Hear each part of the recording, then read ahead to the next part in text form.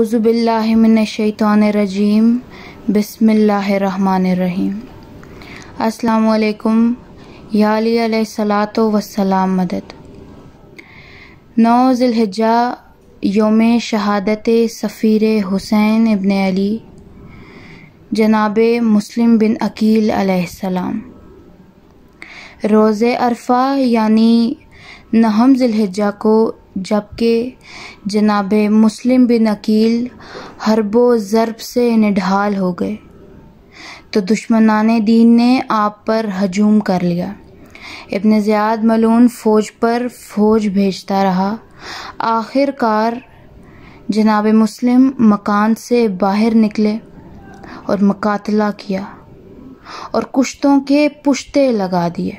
जब कूफियों को यकीन हो गया कि इस शेर शुजात हैदरी को इस तरह गिरफ़्तार न किया जा सकेगा तो इन मलूनों ने एक गढ़ा खोदा और इस पर घास फूस डाल दिया।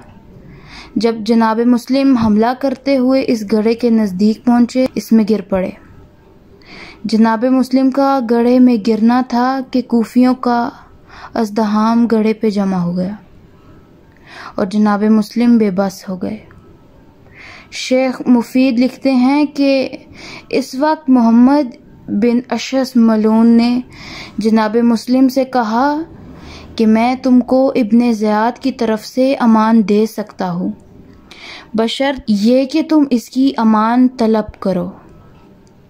जनाब मुस्लिम खामोश रहे और लोगों ने जनाब मुस्लिम को गढ़े से निकालकर कसरे इब्न ज़ियाद ले जाना चाहा। लेकिन ये हालत थी कि इन मलूनों में से किसी ने जनाब मुस्लिम के हाथ से तलवार छीन ली। इस वक्त जनाब मुस्लिम इंतहाई बेकसो मजबूर थे। आपकी आँखों से अश्क जारी हुए। आवाज़ गिरिया बुलंद हुई। मोहम्मद बिन अशस कहने लगा ए मुस्लिम, गिरिया किस लिए करते हो? कहा, इब्न ज़ियाद मलून का खौफ है। फरमाया कि मैं सिवाय खुदा के किसी और से नहीं डरता। इस वक्त अब्दुल्ला ने कहा, आका जान, तुम किस वास्ते कोफा आए थे? दावा सल्तनत क्यों किया था? तमाय हुकूमत ना करते, ना इस रोज़े बद को देखते। इस मलोन ने अजराह तंज कहा था। जनाब मुस्लिम ने फरमाया, ए बदबख्त तो मुझ पर तंज करता है। हकूमत व सल्तनत का ताना देता है। खुदा ने हमें कायनात का मुख्तार वाली बनाया है। मेरे रोने का ये सबब है कि मैंने चंद रोज़ बेशतर अपने आका व मौला, बादशाह दीन व दुनिया, मौला हुसैन बादशाह को अरीज़ा अरसाल किया था कि आप कोफा तशरीफ़ लाएँ। अब मुझे ये ख्याल आता है कि अगर इमाम हुसैन यहाँ तशरीफ़ ले आए तो तुम लोग हुसैन इब्न अली के साथ भी दगा करोगे। मुख्तसर ये कि जनाब मुस्लिम दारुल अमारा पहुँचे अशराफ कोफा दरबार इब्न ज़ियाद में मौजूद थे। इस वक्त आपने अब्दुल्ला सलमा से फरमाया कि मेरा एक काम है, अगर तू इसको बजा लाए तो मैं बयान करूँ। इस पर मोहम्मद बिन अशस मलून बोला कि वो क्या काम है, बयान करो आपने फरमाया कि तुम इमाम हुसैन सलाम को इतला कर दो कि वो यहाँ तशरीफ़ न लाएँ कोफा वालों के फरेब में ना आए और जो कासिद रवाना करोगे। इससे कहना कि वो इमाम हुसैन से कह दे कि मैंने देखा है कि मुस्लिम कौम के हाथों असीर हो गए। और कोई अजब नहीं कि एक शब भी ज़िंदा रह सके। इनसे कहना कि वापस मदीने चले जाएँ। मोहम्मद इब्न ने कहा बाखुदा ये पैगाम भेज देंगे और तुम देखोगे इब्न ज़ियाद के रूबरू किस तरह तुम्हारी शिफात करूँगा और तुम पर कोई ज़रर न पहुँचेगा। जनाब मुस्लिम, मिसले शेर जंजीर में जकड़े थे। मुफीद लिखते हैं कि हज़रत मुस्लिम प्यास की वजह से गश कर गए। हालाँकि वहाँ आब खुनख मौजूद था, मगर किसी ने पानी ना दिया। लोग पानी पीते थे और मुस्लिम तशना लब थे। आपकी निगाह इस जगह पर पड़ी जहाँ पानी मौजूद था।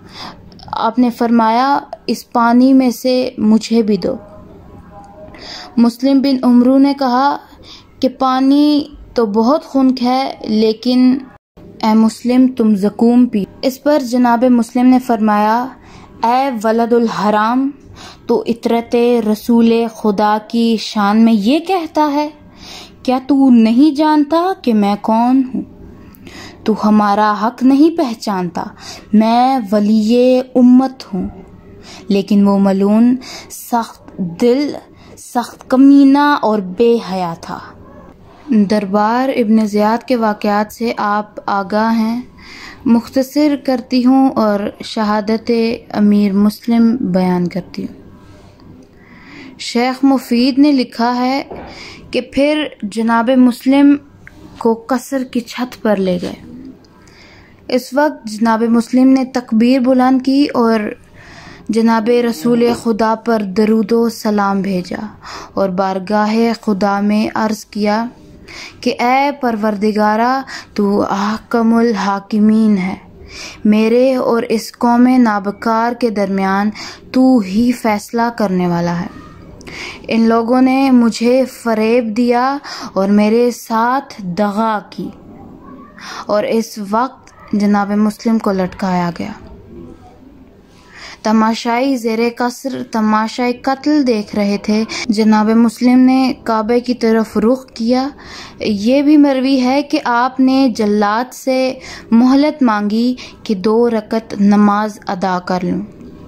इसी तरह जिस तरह मौला हुसैन बादशाह ने भी नमाज़ जहर पढ़ने के लिए फ़ौज अशकिया खसूस उमर बिन साद मलून से मोहलत मांगी थी। और असहाब ने इमाम हुसैन सलाम की इकतदाद में नमाज़ जहर अदा की। किताबुल इरशाद में है कि जब जनाब मुस्लिम शहीद हो गए तो इबन ज़ियाद ने पूछा कि हज़रत मुस्लिम को किसने कत्ल किया? इस वक्त बकर इब्न हमरान मौजूद था। कहने लगा कि इसने ही मुस्लिम को बाम पर ले जाकर कत्ल किया। ये मलून हज़रत मुस्लिम को लबे बाम ले गया, सर जुदा किया और इब्ने ज़याद मलून को पेश किया।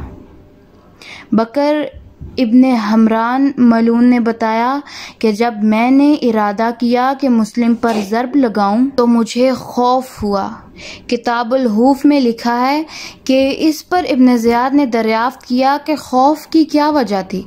वो कहने लगा कि अमीर इस वक्त मैंने देखा कि एक मर्द स्यापोश, गजबनाक सूरत में सामने खड़ा है और अंगुश्त बदनदान है।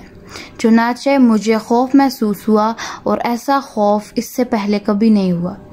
इब्ने जयाद कहने लगा, ये तेरा ख्याल है, इसके सिवा कुछ भी नहीं। कि तुझ पर वहशत तारी हो गई। यही सवाल फौज अशकिया के लोगों ने शिमर वलदुल हराम से किया था कि जब वो सरे इमाम हुसैन सलाम आपके तन मुबारक से जुदा करने पर आमादा हो गया। और खंजर बकूफ उस मजलूम की तरफ़ बढ़ा कि जो एक नशेब में पड़ा हुआ था, जिसे सैदाए आलम ने पाला था। शिमर वलदुल हराम कहता है कि मैं मिसले बेदुल लर्जा था, कि मैंने सदाए गिरिया और जारी सुनी, लेकिन किसी रोने वाले को नहीं देखा। फिर आवाज़ गिरिया के साथ ये अल्फाज सुने, ए गरीब मादर, ए मजलूम मन। अल्लाहुम्मा अला मोहम्मद व आले मोहम्मद व अज्जल फरज आल मोहम्मद।